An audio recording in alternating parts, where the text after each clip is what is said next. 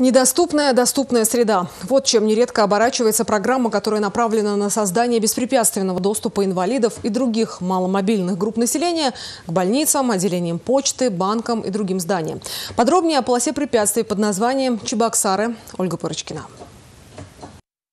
Рост нашего корреспондента – метр семьдесят два сантиметра. Высота человека, сидящего в коляске, в среднем один метр тридцать сантиметров. А значит, до кнопки вызова персонала, которая бы помогла ему попасть в городской клинический центр, он просто не дотянется. По нормам она должна располагаться на расстоянии 85-100 сантиметров от пола. Следующий пункт. Церковь в юго-западном районе. Попасть на территорию церкви инвалид-колясочник сможет. А дальше рассчитывать нужно, видимо, только на Господа Бога. Пан пандусов, ни других приспособлений нет. Чтобы набрать сотни таких антипримеров, не нужно выезжать даже за пределы одного микрорайона. Но двигаемся дальше. Железнодорожный вокзал, ворота города, для кого-то неприступные. Нарушения начинаются сразу же на парковке. По закону для инвалидов должно быть предусмотрено 10% машиномест. Здесь, согласно знаку, одно. Все было бы по правилам, если бы в общей сложности парковочных мест было 10.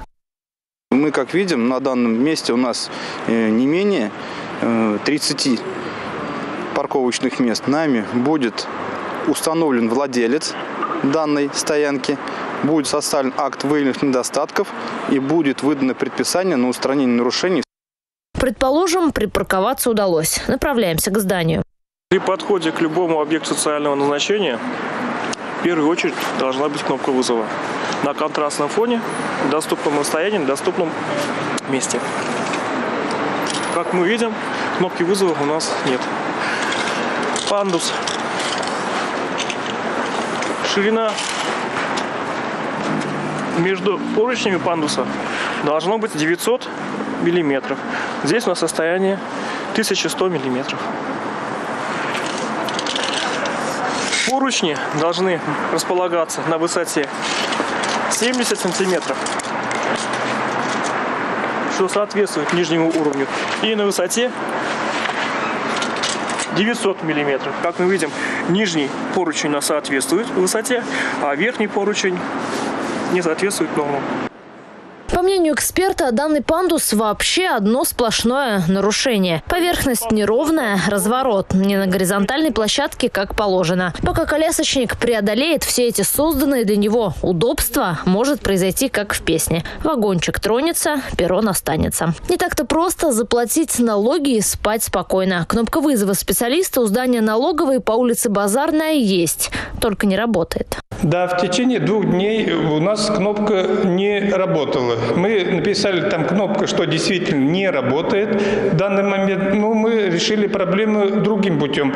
У нас велась видеонаблюдение, начиная со шлагбаума до подъезда лестницы. Выходят специалисты. При желании они могут даже оказать помощь прямо в машине. Не выходя из машины, специалист может к машине выйти. Или же мы их помогаем подняться по пандусу и оказываем все услуги. К моменту выхода репортажа кнопку уже починили, но гораздо больше случаев, когда нарушения исправляются только после выданных предписаний или наложенных штрафов. Впрочем, эти меры вряд ли исправят то, что условия для инвалидов у нас создаются во многих случаях условно, для галочки. И наша доступная среда остается недоступной. Ольга Пырышкина, Анастасия Лангина, Сергей Адушкин. Республика.